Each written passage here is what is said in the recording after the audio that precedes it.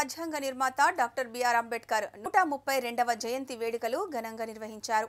నల్గొండ జిల్లా మిర్యాలగూడ పట్టణంలో సాగర్ రోడ్డులో గల అంబేద్కర్ విగ్రహానికి MLA Nallamothu Bhaskar Rao municipal chairman Tirunagaru Bhargav పూలమాలలు వేసి ఘన నివాళులర్పించారు అనంతరం వారు మాట్లాడుతూ అంబేద్కర్ సేవలను కొనియాడారు.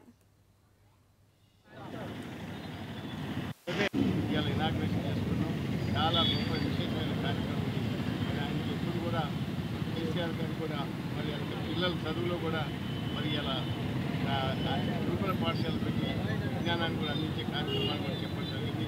అమెరికా పోయే మరి ఇతర దేశాలకు పోయినప్పుడు వాళ్ళకి ఇరవై లక్షల రూపాయలు ఇచ్చి ఆయన విదేశంలో చదువుకోవడానికి కూడా మరి దళితులకి అవకాశం కల్పించారు మరి అది కూడా కాకుండా కూడా మరి ఇలా దళిత బంధు అనేది భారతదేశంలోని కూడా ఏ ప్రభుత్వం పెట్టిన విధంగా ఎవరు అడగకపోయినా దళితుల్ని కొంచెం పైకి లేపాలి అనే నినాదంతోనే ఇలా పెద్ద బంధు పెట్టి ఇప్పటికీ మూడు వేల నాలుగు వందల కోట్ల రూపాయలు ఇవ్వడం జరిగింది.